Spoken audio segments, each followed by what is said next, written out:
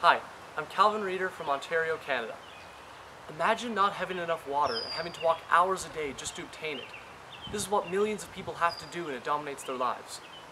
In my project, I've designed systems that are capable of producing clean drinking water without running costs, a carbon footprint, or a requirement for existing infrastructure. I've designed two systems, and the first is an atmospheric water condenser. The, the, condenser consists of a high internal surface area for condensation and is made of, of a high thermal conductivity material, aluminum. Now cooling is key to this system and so it consists of three components to increase the natural rate of cooling.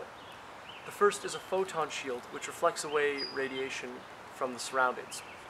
The second is a high emissivity radiating panels which reflect away thermal radiation to the sky. And the final one is a parabolic reflector array which increases the natural rate of radiative cooling.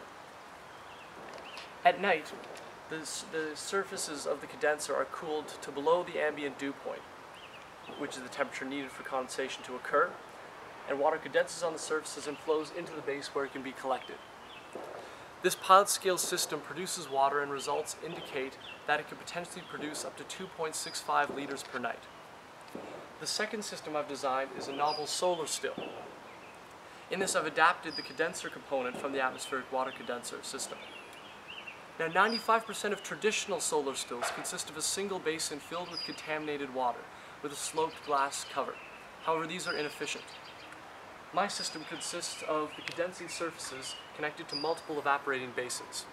Solar energy ev evaporates contaminated water in the basins, which condense in the condensing surfaces and flow into the base where it can be collected.